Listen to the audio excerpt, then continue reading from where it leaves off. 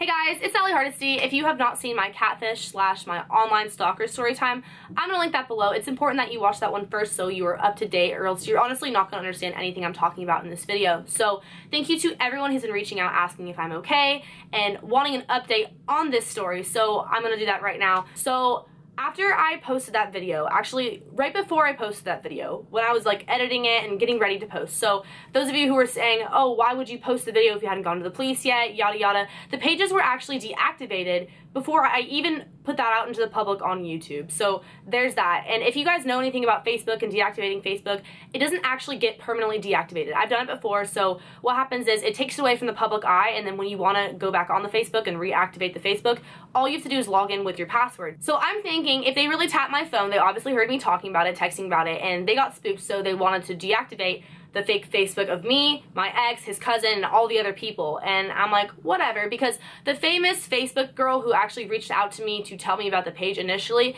she had said that she reached out to my ex Gabe first, two weeks before she reached out to me because the page had been posting then.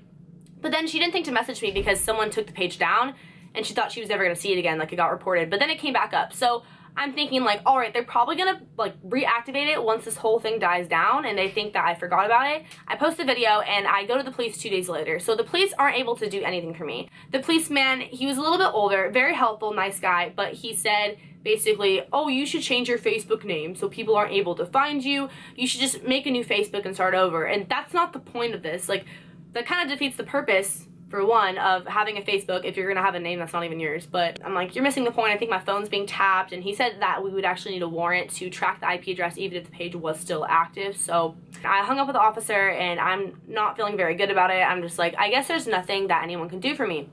A lot of you guys have been commenting telling me to reach out to Max and Nev from the show Catfish on MTV. And I think a lot of the time it's relationships, like online relationships. So that's why I didn't think to do it myself until people started saying that. And they're like, oh, they do cases like yours. Like it doesn't always have to be people who are dating relationships with Catfish. So I'm like, all right, and I sent an application. I sent in two actually just in case to grab their attention, and I let you guys know that. So some of you actually left applications too, so I think that really caught their attention. Like a lot of people were saying, go watch Ally's video, go watch Ally's video. And I don't know if they actually watched the video, but I got a text on Friday from a producer from Catfish, his name's Nate, and he wanted to talk to me about the whole situation. I don't know if you watched the video. I actually was not able to get in touch with him. I was traveling this weekend. I went to San Francisco and stayed with a friend, and then I was in Brentwood, so I gave him a call like 20 minutes ago. He didn't pick up, but I'm sure he'll call me back because he said just call anytime or text him, so I did. So I'll hopefully be getting in touch with him soon.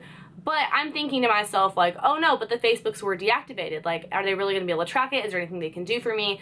And when I get this text, so my ex and I, we don't talk. We had to talk because of this whole situation and it blew up and it was so crazy. And I just felt like I owed him the courtesy of letting him know what was going on when I found out. So that's why I called him. That's why we talked.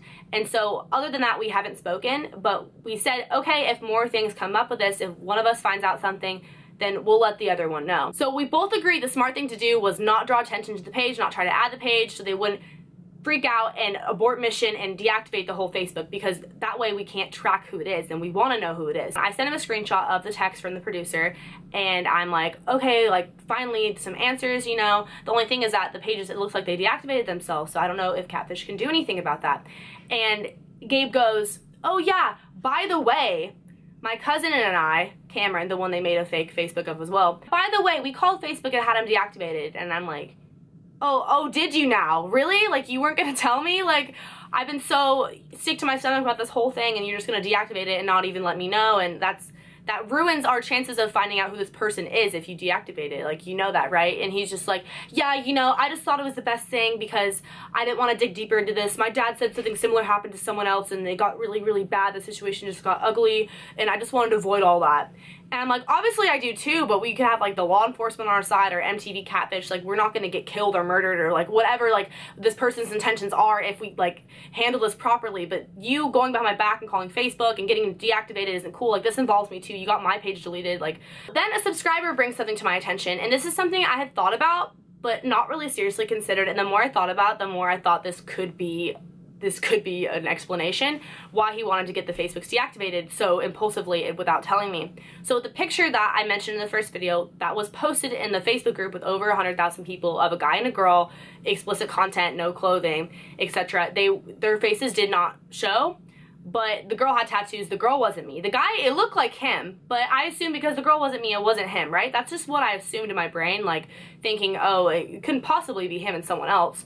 Someone said, you know what? What if that was Gabe and someone he cheated on you with, and so that's why he just wants to get the Facebook deleted because he doesn't want things to come out, like he's hiding something. Because if you really think about it, the fake catfish page of me was all my real pictures. The fake catfish of him was all his real pictures. Why would they just randomly decide to post one picture that wasn't me or him?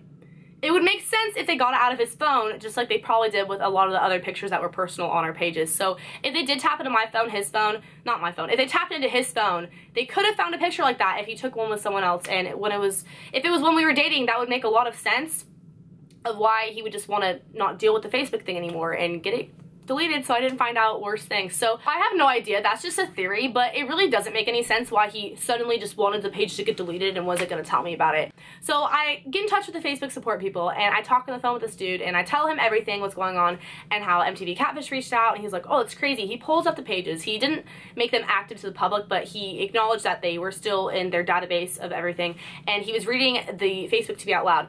Side note, I noticed this after uploading the last video. On my Facebook, it says Allie. It doesn't say Allison. Allison's my real name. So I think that this is someone close to me or who knows me like decently well. They spelled my name with two L's. I spelled it with one L, Allison. But on my Facebook, it's Allie. So they use my real name, which makes it a little bit creepier.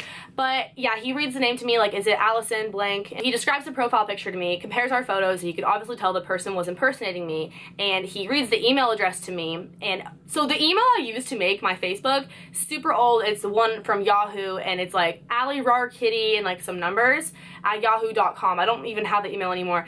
This person had almost the same exact email, but with different numbers in the email. Like, they really just went to the extent of making a whole separate email. And I don't know if they did that for Gabe's and all the other accounts, but for mine, they made the email address almost identical. So just like the captions and everything else they did. So I'm like, what what the heck? Like, what? Okay, so he pulls it up and he tells me we have a, tech, a Facebook technician who was able to bring back up these accounts, but it's $49 per profile. But then all the other fake Facebooks, like the ones that were commenting on our pictures, we were commenting on theirs, like our friends on the catfish profiles, I felt like they were pretty relevant in the story and in the context of how everything looked on the page. So I don't know the names of all those Facebooks, and I they were all taken down too. So I don't know if it's worth it to, you know, pay $100 to get my profile and Gabe's profile brought back up to so Catfish can go look at them.